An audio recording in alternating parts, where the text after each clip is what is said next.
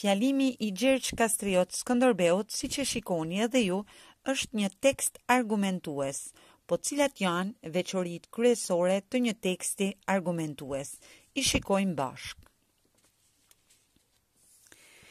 Teksti argumentues, veçoritë e përmbajtjes, teknikat dhe veçoritë gjuhësore të tij. Teksti argumentues nëpërmjet veçorive të përmbajtjes, ai trajton teza për çështje të ndryshme. Teksti argumentues mbështet tezën me argumente. Ai synon të bindë marrësin për vlefshmërinë e tezës. Teksti argumentues paraqet antitezën për ta kundërshtuar, por ai paraqet edhe kundërargumentet për të mbështetur antitezën. Teksti argumentues jep qartë dhe saktë përfundimin.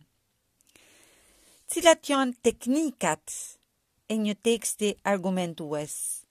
Teksti argumentues paraqet argumente që lidhen me fakte konkrete të dhëna logjike.